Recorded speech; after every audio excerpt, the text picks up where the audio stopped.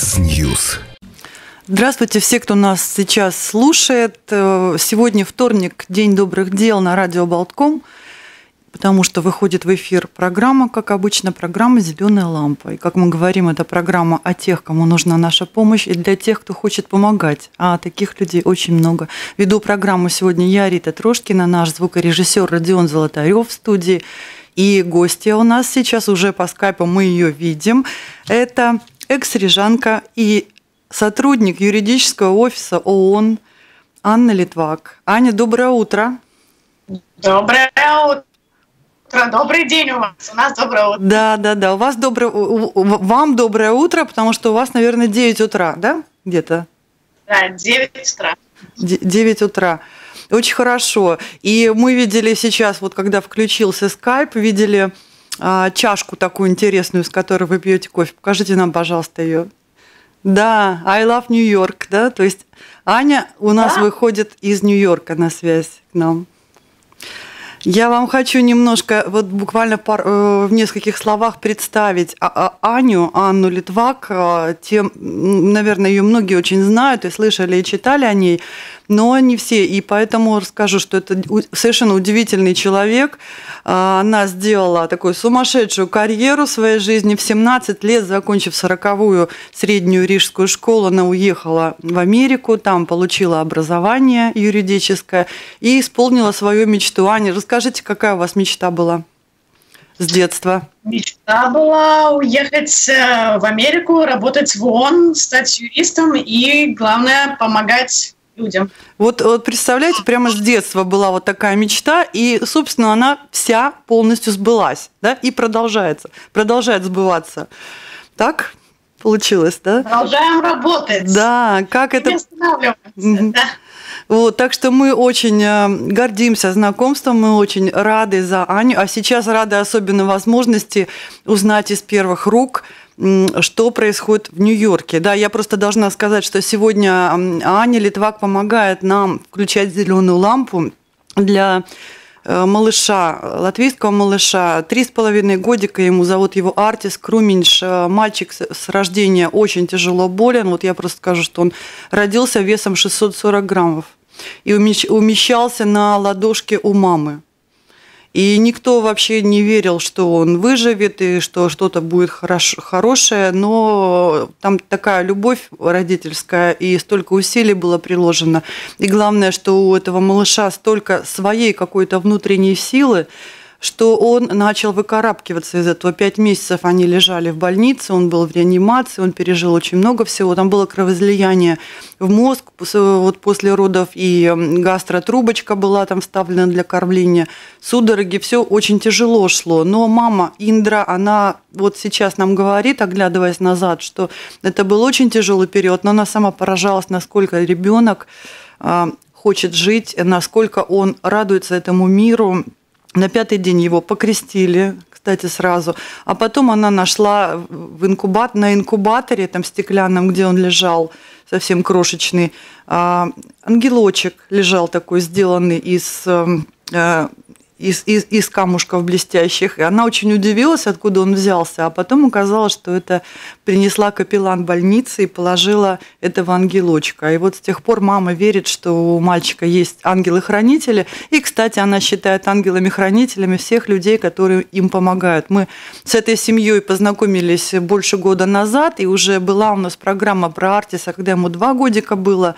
Тогда собрали, спасибо всем нашим радиослушателям и читателям, собрали деньги на серьезную реабилитацию, которая помогла. И вот э, потом чуть позже я расскажу. Результаты очень хорошие. За год много изменений, но надо это все продолжать. И поэтому наш телефон всю неделю с сегодняшнего дня до следующего вторника работает в помощь маленькому артису. Ему очень-очень нужен еще один курс реабилитации в клинике Бельгии. Они туда поедут, как только снимутся запреты на поездки. Телефон 930-6384, евро 42 цента за звоночек. Вот это помощь маленькому мальчику.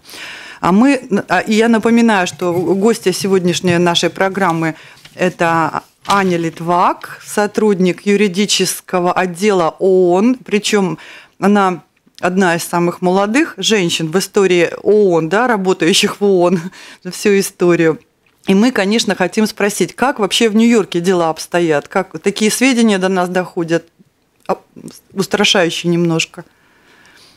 Аня, как у вас там дела? Ну, я вам могу сразу ответить, что поскольку мои родители живут в Латвии, то я тоже от них получала звонки, и понятно, что как бы СМИ передают немножко такую, возможно, утрированную информацию, и то, что видеооператоры показывают, я, знаете, им сказала, что я тоже могу пойти где-то наснимать вам ужасов, и потом вы будете думать, что так на самом деле у нас на улице все и происходит. То есть надо немножко уметь, наверное, фильтровать информацию, которую вы получаете. Но это не значит, что ситуация легкая, и на самом деле люди не заболевают и не умирают. Я хочу уменьшить значимость того, что происходит. Угу. Ну вот а как? Вот вы выходите в город или вы дома постоянно сидите? А, мы, поскольку я работаю на организацию ООН, моя организация достаточно, считаю, на мой взгляд, и не только на мой взгляд, хорошо э, справилась с началом этой пандемии, mm-hmm. и достаточно рано мы приняли меры, которые называются у нас телекомьютинг, то есть это вы mm-hmm. работаете из дома. Mm-hmm. Сначала мы перешли на несколько дней в неделю работы из дома, а потом мы ушли полностью. Но это было немного раньше, чем другие компании. То есть мы уже были можно так сказать, подготовлены, поэтому заболеваний, например, в огромной организации ООН с многочисленными э, сотрудниками в многих разных странах, и вы можете представить, насколько много путешествий у нас в организации, и очень мало зараженных, скажем так. Mm-hmm. Да? Поэтому я работаю из дома уже практически с 16 марта, и эм, мы выходим на улицу, мы ходим все в масках. У нас это теперь обязательно, например, если вы заходите в продуктовый магазин, то вы обязаны одевать маску. И на улице тоже правило, которое называется social distancing, это то, что люди должны держаться на определенной дистанции друг друга. Уже, в принципе, объявили в городе, что официальный штраф полагается за это от 500 до 1000 долларов. Я, правда, ни разу не слышала, чтобы кого-то штрафовали, но такое есть. И мы гуляем еще по той простой причине, что у меня тоже есть ребенок, mm-hmm. у нас летний мальчик, поэтому э, с таким активным ребенком сидеть в квартире в Нью-Йорке, какая бы она хорошая, с каким бы хорошим видом она не была, просто невозможно. Воздух, надо как-то гулять. Я пытаюсь максимально его защитить. У меня специальная пленка, мама мажет там носик разными мазями, всем, чем только можно, тоже в маске, все. Но я не знаю, может быть, я, не может быть, кто-то это видит по-другому, но я стараюсь с ним гулять очень аккуратно, но все-таки ходить. А как настроение вот в Нью-Йорке у людей? Есть паника, нет паники? Как вообще воспринимается эта вся ситуация? Ну, вы знаете, по-разному. Вот э, у нас э, опять-таки вернусь к нашей организации, мы созваниваемся с коллегами каждую неделю. И каждую неделю мы обсуждаем, как настроение, как у кого дела, кто где живет в Нью-Йорке, потому что Нью-Йорк это не только Манхэттен, есть mm-hmm. разные и Боро, как они называются, то есть это Бруклин, Квинс, да, и э, в каждом районе немножко по-разному, да, но в Манхэттене тяжелее, скорее всего, потому что настолько густонаселенный город, mm-hmm что, ну, возможно, это давит на психику чуть-чуть. И людям тяжелее именно здесь, где они э, живут на друг друге. Mm-hmm. А, у меня тоже по-разному. Один день я достаточно позитивный человек, но это сложно, так как, например, вот я недавно на Фейсбуке, Рита, вы, наверное, читали, ставила пост 42 улице. Да, да, да. да. Репортаж такой. Для меня много начало в жизни, много с историей моей связано с этой улицей. И ходить по ней одной с ребенком в течение э, дня, когда на улице сумасшедшие бегают, начинают кричать, практически чуть ли не атаковать людей. И потом со мной говорит полицейский, а так улыбаясь мне говорит, ну вы будьте осторожны. Mm-hmm это, конечно, для меня э, шок.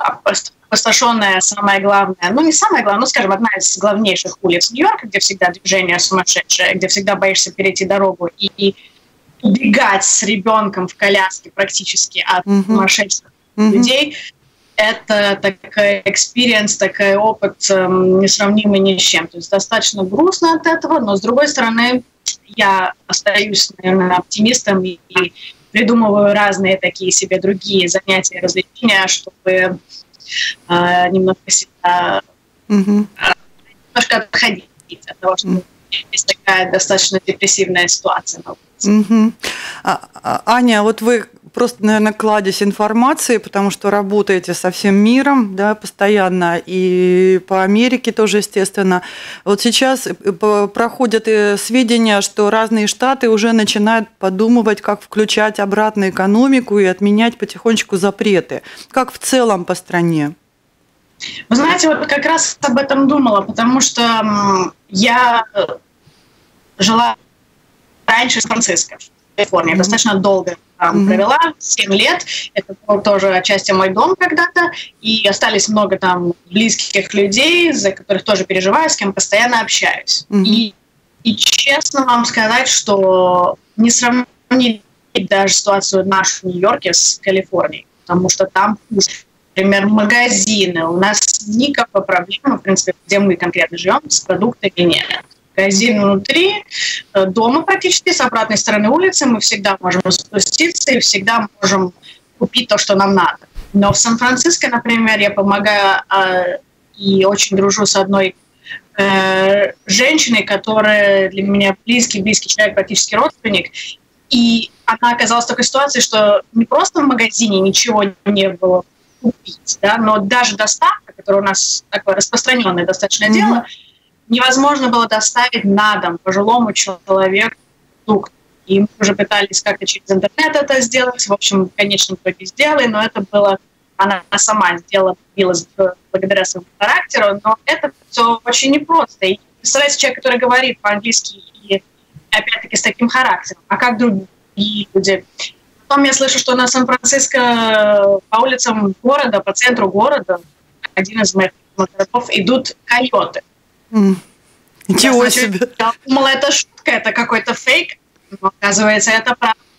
Mm-hmm. А, а другим бизнесом нашему близкому другу разбили витрину галереи. А, думали, чтобы что-то украть, оказалось абсолютно не для этого, просто бездомные хотели переночевать. Mm-hmm. Меня как бы человека прожившего, там, выучившегося, там, я там получила образование, я там начала первую работу, из-за которой потом меня узнали, обо мне узнали в Нью-Йорке. Это для меня такая очень вкусная информация. Mm-hmm. Опять-таки и в Нью-Йорке, и в Калифорнии отличается тоже от других штатов. Вы, может быть, слышали в штаты Джорджия, mm-hmm. где я тоже когда-то жила. А они уже говорят о том, что они рассматривают э, начинать открываться. Mm-hmm. У нас мэр Деблазио тоже сказал, что мы рассматриваем несколько фаз, стадий, как mm-hmm. мы будем тоже... Потихоньку, да. Mm-hmm. Потому что, конечно, у всех вопрос экономики mm-hmm. тоже стоит. И я думаю, что да, скоро объявят, по крайней мере, план, как это будет проводиться в действии. Пока что Нью-Йорк до 15 мая закрыт, mm-hmm. а Сан-Франциско только что до 31 мая, mm-hmm. и он тоже до 31 мая. Все mm-hmm. немножко по-разному, у каждого свои какие-то особенности. Ну, в общем, получается, что мир э, неожиданно для себя, ну, наверное, неожиданно столкнулся с такими проблемами, которые он никак э, решить не может, да, даже вот единого мнения нет по этим проблемам, все же ругаются, и там постоянно эти баталии идут. И, наверное, предстоит делать потом какие-то выводы. Конечно, все это закончится, я вот совершенно не сомневаюсь, да, вопрос когда, но выводы предстоит сделать очень серьезные. Вот самое главное, какую вот проблему вот вы видите, например, вот том, что вот происходит сейчас, что мы не можем справиться с этим? Ну, я очень тоже много об этом думаю, и опять-таки разговаривая с коллегами, и не просто с коллегами, а участвуя в разных международных митингах, которые продолжают mm-hmm. происходить, несмотря на встречи Совета Безопасности, Генеральной Ассамблеи mm-hmm. и так далее. Да? Я все-таки надеюсь, э, что это приведет к каким-то положительным изменениям в мире. И вот, может, вы слышали а, от нашего генсека тоже, он поставил такой месседж от себя, чтобы мир рассмотрел это как э, начало работы над чем-то положительным, mm-hmm. чтобы изменить, чтобы произошла трансформация mm-hmm. какая-то в мире. И мы видим это с переменой климата. Mm-hmm. Даже тот, кто верит и не верит, это можно даже не обсуждать. Вы видите историю Венеции да, и, mm-hmm. и так далее. А потом равенство людей. Я считаю, что то, что не работают все магазины, то, что как бы ушло то, что надо перед друг другом что-то воображать, что-то mm-hmm. значит, какие-то вещи, которые на самом деле вы понимаете в этой ситуации вообще ничего не значат.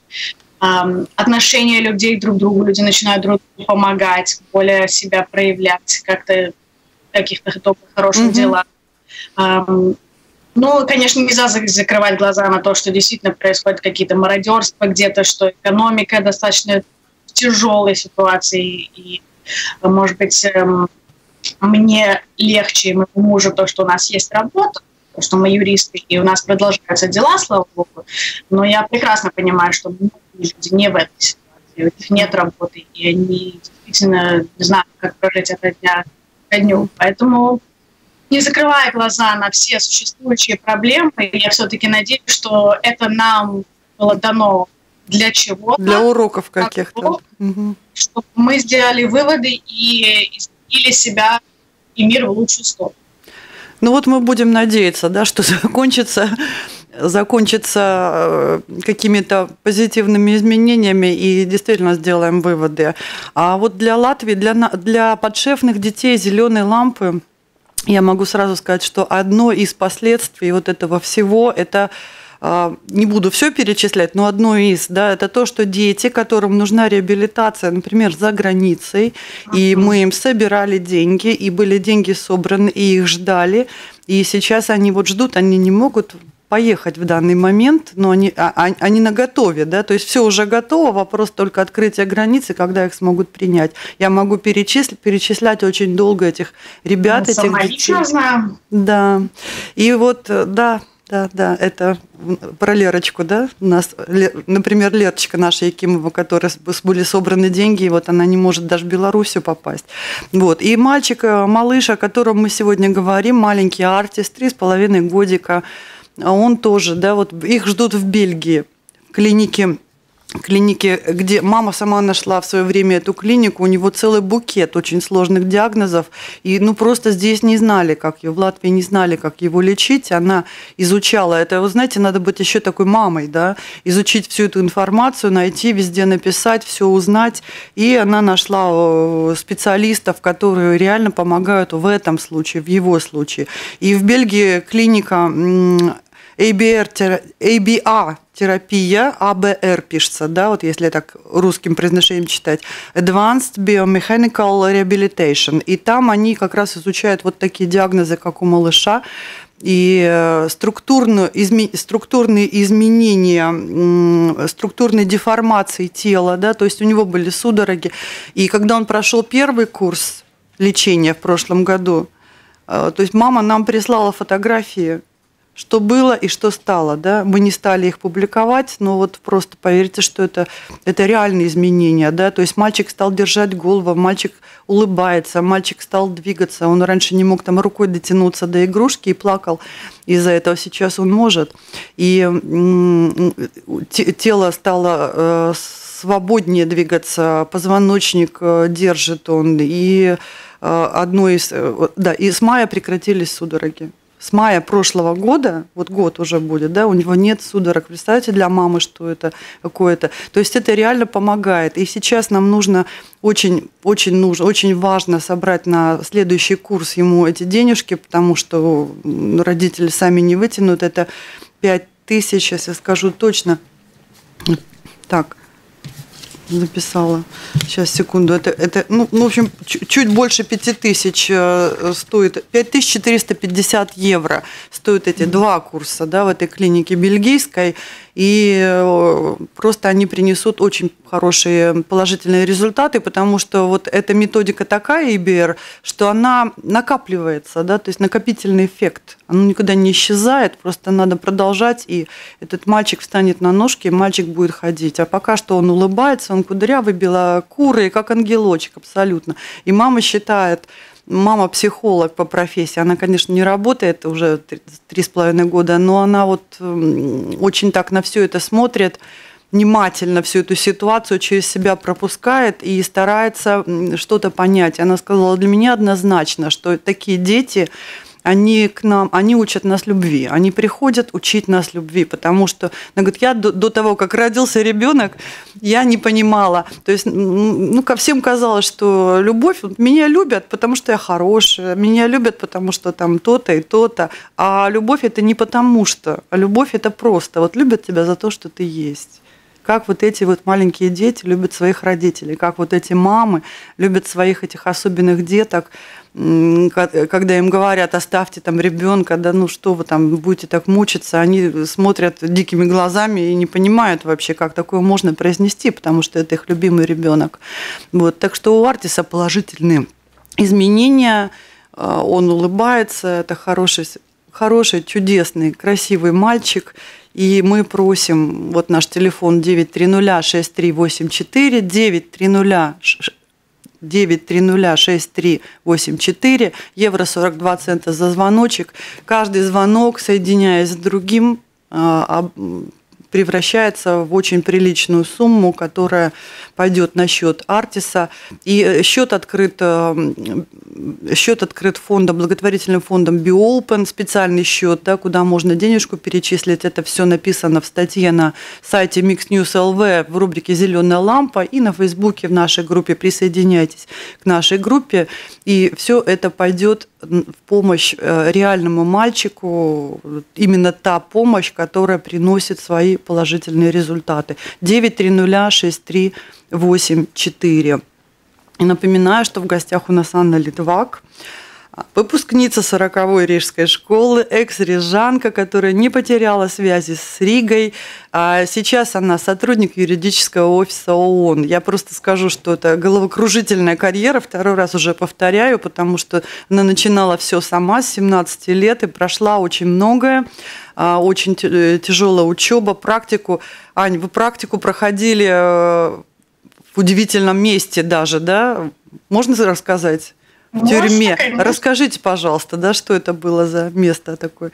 Ну, практика у меня была много разной, и не только в той тюрьме, но и в том числе в той тюрьме. И та тюрьма, про которую мы говорим, она показывалась часто в фильмах Клинта Иствуда. Mm-hmm. Это одна из таких серьезных эм, тюрьм, которая находится в штате Калифорния, известна под названием Сент-Квентин. Mm-hmm федеральная тюрьма, где сидят самые за самые тяжелые преступления, то есть убийцы, насильники и так далее, и люди, приговоренные к смертельной казни. И я тогда работала над проектом, который именно был посвящен э, защите людей, которые были приговорены к э, смертной казни. Очень-очень интересный и опыт, незабываемый опыт. Серьезный опыт. А также да. вот... Одной из женщин, которые выбрали конкурсу, которые разрешили, допустили туда ходить. Угу.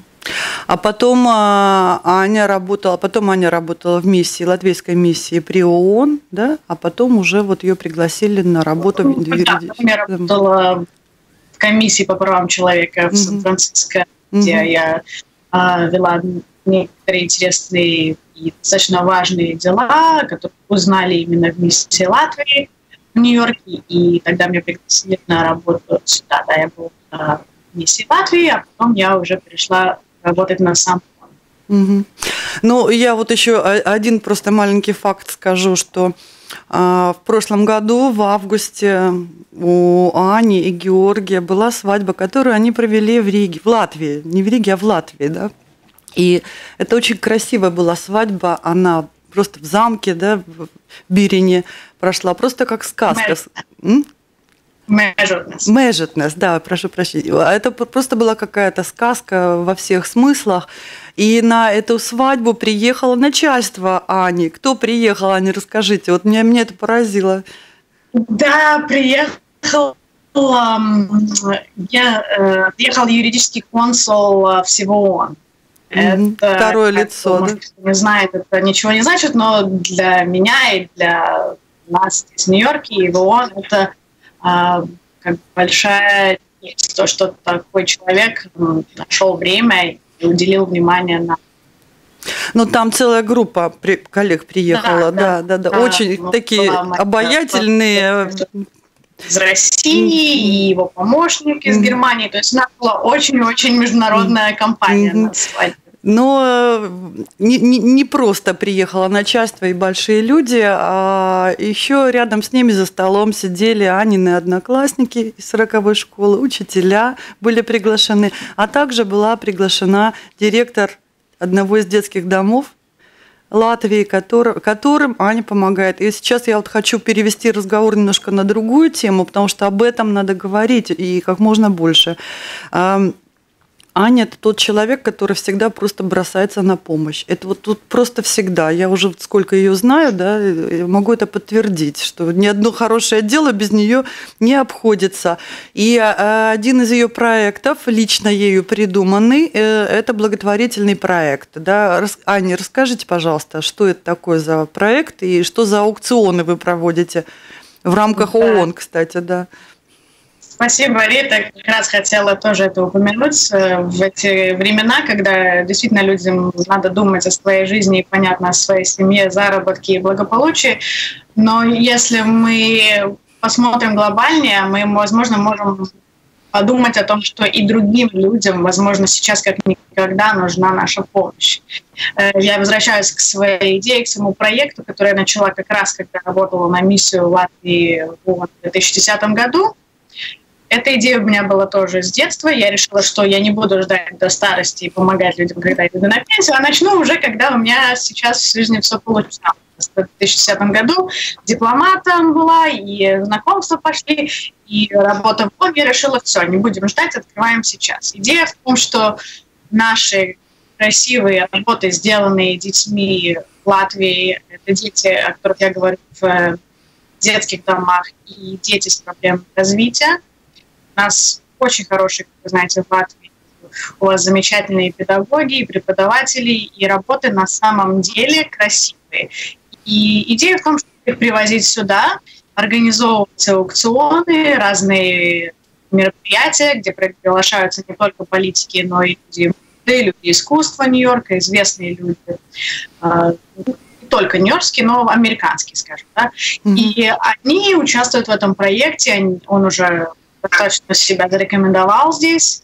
И работы, которые люди э, получают, им нравятся. То есть они ощущают, что они не просто куда-то отдали деньги, а именно конкретному ребенку помогли. У меня все дети, которые участвуют, пытаются на английском что-то написать, даже если неправильно, все равно я прошу, чтобы какая-то была именно личная история, написанная этим ребенком.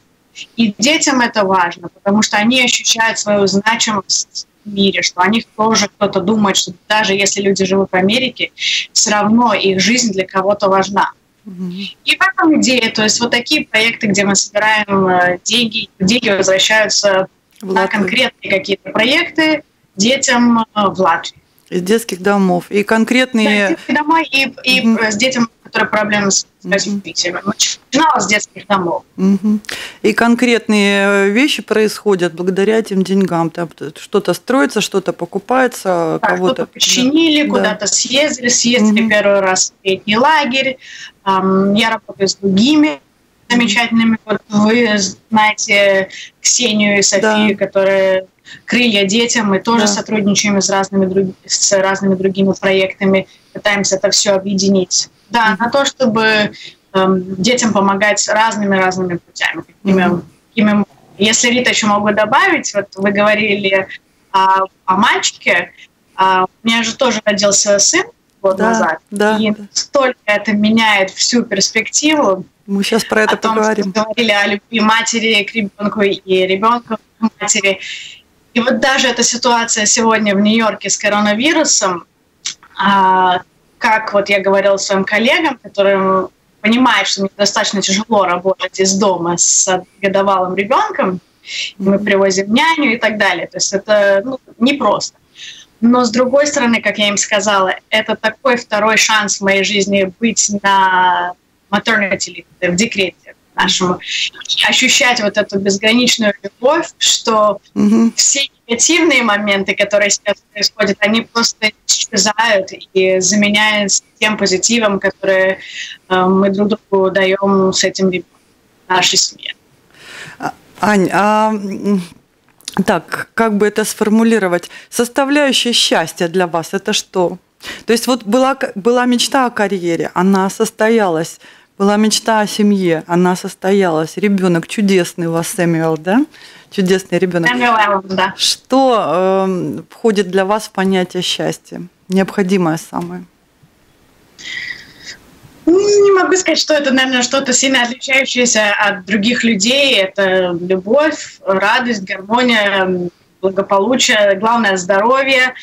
И для меня как пункт, вы, наверное, знаете, Рита, действительно, я не могу пройти мимо, когда я знаю, что mm-hmm. если я могу кому-то помочь, что я, могу, то я для этого сделаю все. Для меня это, вот, это счастье, это такое отдельное счастье, которое, эм, как вот любовь ребенка, она для меня не сравнится ни с чем. А откуда это вот берется? Это надо с этим родиться или можно все воспитать? Вот можно же жить спокойно, не обращать внимания на окружающий мир. Вот честно, Рита, я иногда завидую таким людям. Я вот мужу говорю много раз, вот как бы мне хотелось быть хоть на пару дней иногда таким человеком, которому все все равно. Да. Но не получается. Ну, нельзя быть равнодушным, это правда. Наверное, уже с детства. Я, так как родителям уже с детства сказала свои планы на будущее, то, ну, наверное, это уже все-таки с тех времен. Угу. Ну, у вас семья замечательная. А вот нет ли противоречия? Семья требует очень много внимания, сил. Работа требует внимания, сил. Все требует. А что, как, как, как вы успеваете вот это все? Да, это такой вот, эм, наверное, сейчас тест mm-hmm. на отношения, на баланс, на все. То есть эм, мне повезло все-таки с работой, что организация наша даже генсек отдельно и наш босс, которого упоминали раньше, они написали такой меморандум о том, что определенная поддержка нужна людям, у которых есть дети, mm-hmm. и женщинам, и мужчинам. И все с большим пониманием относятся к тому, что у тех, э, у кого есть дети, им сейчас совсем непросто. И это так. Я не хочу уменьшать э, значимость, что я говорю, потому что это на самом деле сложно. И мы пытаемся с мужем как-то разрулить эту ситуацию. У него тоже full-time работа, поэтому mm-hmm. у нас не так, что ну, это очень просто все решается. И мы пришли к выводу, что мы будем все-таки привозить нашу замечательную няню два раза или пару раз в неделю, чтобы оба могли полностью сконцентрироваться на А муж тоже юрист, скажем, да? Да. Сразу международный. Да, и вот он сегодня, например, почему я с вами, так mm-hmm. замечательно тихо сижу, потому что он уже с утра, в 6 утра проснулся, съездил в Бруклин, туда 40 минут, 40 минут обратно, привез нашу Танечку, и Танечка наша пошла гулять с нашим маленьким, поэтому я вот смогу поговорить с вами. Вот спасибо передайте, Георгию. У меня конференционный звонок с ООН. Mm-hmm. Вот То есть мы вклинились между, да. между ребенком и ООН, да, очень, очень даже прекрасно успели вклиниться. Напоминаем, что наша программа с помощью Анны Литвак сегодня помогает маленькому мальчику три с половиной годика Артис Круминч. У него очень несколько сложных очень диагнозов, ему очень нужен курс э, специального лечения, специальной терапии в бельгийской клинике, где его уже ждут. Вот как только будет возможно, и будут деньги, и откроются границы, он туда поедет, и это ему очень и очень помогает.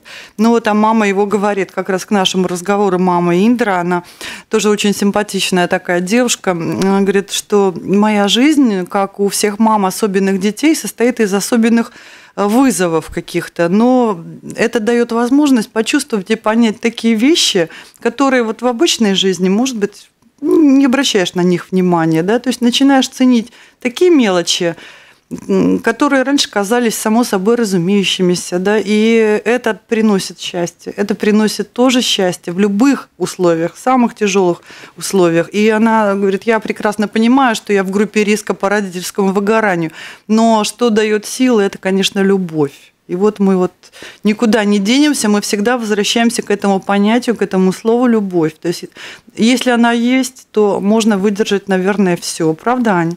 Как, да. Абсолютно согласна да. с вышесказанным. Да, это, это вот. Да. И я напоминаю, что телефон 930 6384, евро 42 цента за звоночек, работает всю неделю в помощь маленькому трехлетнему Артису. И вы, если вы сделаете этот звонок, это действительно ну, небольшая сумма, евро 42, но она, э, эти звонки собираются в очень э, ощутимые суммы, которые пойдут на счет этого мальчика и помогут ему в его выздоровлению, помогут его выздоровлению от очень тяжелой болезни. Ань, а, а какие планы дальше вот в благотворительном плане? Вот что-то еще планируется? Эти вот аукционы сейчас, конечно, не проводятся, а что дальше вы думаете делать? Ну, вы знаете, как-то сейчас все переходят и переводят свои идеи, бизнесы и вообще работу онлайн. Угу. И я уже говорила с некоторыми IT-ребятами о том, что даже эти аукционы можно проводить онлайн. Угу меня есть э, веб-сайт, и на этом сайте тоже можно э, по каким-то, например, праздникам делать такие тоже большие онлайн аукционы. Это как одна из идей. Но дальше все-таки хочу продолжать. Надеюсь, что все рано или поздно откроется, что будет опять Генеральная Ассамблея в сентябре, и все восстановится. Я надеюсь приехать э, с нашим маленьким тоже. Мы хотели бы приехать, у нас были планы путешествия, и Латвию, и родители ждут, и море ваше замечательное. Mm-hmm. Хотели сбежать из нашего concrete jungle, как его называют, mm-hmm. наших бетонных джунглей, приехать к вам летом. Mm-hmm. Но я держу как бы со своими друзьями, которые и в Вашингтоне, и в Нью-Йорке, и здесь, э, как только возможно будет так сделать, эм, мы попробуем летом приехать. И тогда я буду говорить с женщине, которая директор, которую вы упоминали, угу. тому, и другими своими контактами, и будем тоже думать совместно, как дальше работать. Все, все, что делается, оно рано или поздно свои какие-то плоды приносит. Я хочу сейчас, э, у нас еще осталось чуть-чуть времени, а, подвести итоги, а рассказать об итогах а, прошлой программы. Мы неделю назад в «Зеленой лампе» обращали, рассказывали историю 24-летнего Кости Прутика. Костя Прутик, он, у него очень тяжелый онкологический диагноз, внезапно он заболел, и лекарство, которое ему реально помогает, нашли. Хорошее в этом то, что было найдено это лекарство после исследований, но оно очень дорогое, и никакой компенсации он пока что не получил от государства. Он получил э, скидку от фирмы-производителя, но каждый месяц ему почти 7 тысяч надо платить за это лекарство, но оно помогает, оно уже после первого приема начало работать, уже все там уменьшилось, уже анализы крови улучшились. И мы рассказали эту историю, написали везде, нас коллеги поддержали, всем огромное спасибо, всем-всем-всем. И для Кости собрано за неделю, вот, знаете, прям цифры цифры, когда называю, я даже, я даже пугаюсь. 25 тысяч 469 евро. Это до слез. Это вот в наше время, когда всем так тяжело и трудно, э, люди, наши читатели и радиослушатели сделали 3576 звонков. Представляете, это более чем на, это на 4,5 тысячи евро, да, и на счет еще 21 тысяча поступила. И немножечко там уже было на этом счету, и поэтому сейчас где-то, наверное, на полгода он лекарством обеспечен. А помогает оно реально. Мама просила его передать всем огромную-огромную благодарность. Она вот тоже просто до слез это ее все, что незнакомые люди помогают другим людям, да, вот просто так, потому что у них есть потребность помочь. Еще один маленький эпизод. В субботу нам привезли нам привезли 150 килограмм клубники отборной, просто шикарной шикарной клубники, крупной, сладкой, для того, чтобы мы передали эту клубнику э, детям под шефным зеленой лампы. Дети ее получили, очень многие семьи получили, и э, столько было радости. Человек, который это сделал, попросил, э, чтобы не называли его имени, поэтому мы не называем, но мы его благодарим за радость, которая была доставлена просто так, совершенно незнакомым детям и их родителям. Вот. А у нас есть связь, Аня? Вы слышите? Не на связи были несколько минут, да, и я повторяю просто, что вот благодарность от всех за все, что вы делаете. Очень рада и спасибо. Программа подошла к концу уже. Спасибо за то, что вы были с нами и всего вам самого хорошего. Спасибо вам и все большие молодцы, что участвуют в вашей программе. У нас очень хорошие люди. Это, да. Э, это внушает, э, внушает мысль, что мы не безнадежны, что мир все-таки... Вдохновение. Да. да. Все, всего хорошего, хорошего дня. Спасибо. Спасибо. Да.